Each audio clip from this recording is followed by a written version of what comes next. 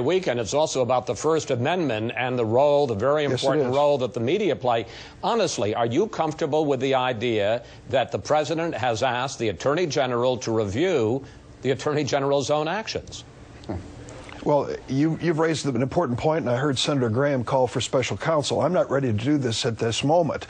I'd like to know if Holder uh, has any conflict in here beyond what we've heard uh, when it comes to the Fox case. But, but here's the bottom line the Media Shield law, which uh, I am prepared to support, and I know Senator Graham supports, still leaves an unanswered question, which I've raised many times. What is a journalist today in 2013? We know it's someone who works for Fox or AP, but does it include a blogger? Does it include someone who's tweeting? Are these people journalists and entitled to constitutional protection? We need to ask 21st century questions about a provision in our Constitution that was written over 200 years ago. Gentlemen.